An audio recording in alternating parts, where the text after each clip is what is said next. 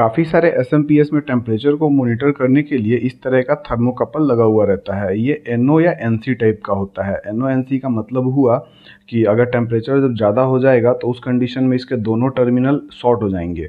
और N C का मतलब होता है कि जैसे ही टेम्परेचर ज़्यादा होगा तो इसका दोनों टर्मिनल ओपन हो जाता है। इसको चेक करने के लिए मल्टीमीटर को कंटिन्यूटी रेंज पे रखिए और दोनों प्रोब को आप दोनों वायर के साथ कनेक्ट कर दीजिए। अगर वो एनओ होगा तो यहाँ कोई बीप नहीं आएगा। अगर एन होगा तो बीप आएगा। अब हम लोग इसके टेम्परेचर को इनक्रीज़ करेंगे। तो उसके लिए आप कोई सा भी सोल्डरिंग आयरन का या हॉट एयर स्टेशन का यूज़ कर सकते हो।